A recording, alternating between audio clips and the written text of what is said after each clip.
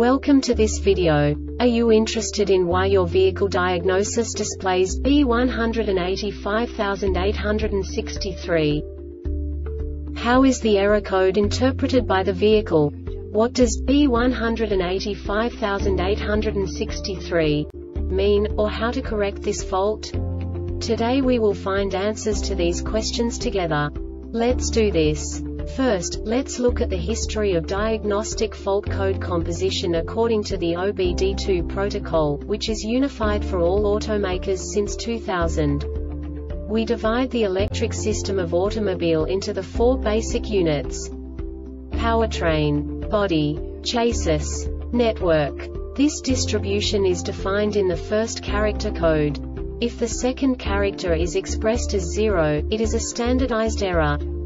In the case of numbers 1, 2, 3 it is a more prestigious expression of the car-specific error.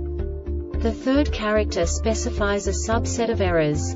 The distribution shown is valid only for the standardized DTC code.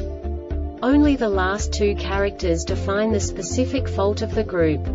The add-on to the error code serves to specify the status in more detail. For example, a short to the ground.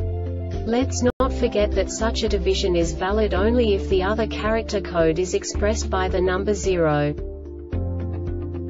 Our website airbagreset.sk produces useful videos for you. You do not have to go through the OBD2 protocol anymore to know how to troubleshoot any car breakdown. You will find all the diagnostic codes that can be diagnosed in a Toyota vehicles. Also many other useful things. The following demonstration will help you look into the world of software for car control units. You unbelievably can move the video a bit further. The error code is split into two bytes consisting of 16 bits. One bit is the basic unit that each computer works with. The bit has two logical states. 0, low level, 1, high level. By combining the first two bits, the basic character of the error code is expressed.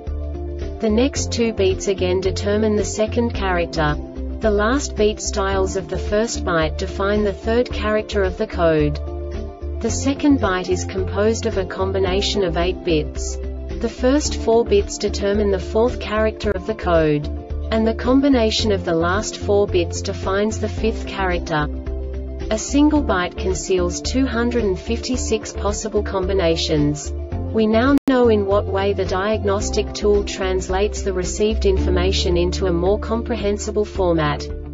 The number itself does not make sense to us if we cannot assign information about it to what it actually expresses. So, what does the diagnostic trouble code B185863 interpret specifically Toyota car manufacturers? The basic definition is or C low side temperature sensor circuit malfunction. And now this is a short description of this DTC code. No ambient air temperature sensor code set in the HVAC module, engine running, ambient air temperature from 39F-210F, and the PCM detected the AC low side signal was less than 35F, or it was more than 210F the AC low side temperature sensor uses. This diagnostic error occurs most often in these cases.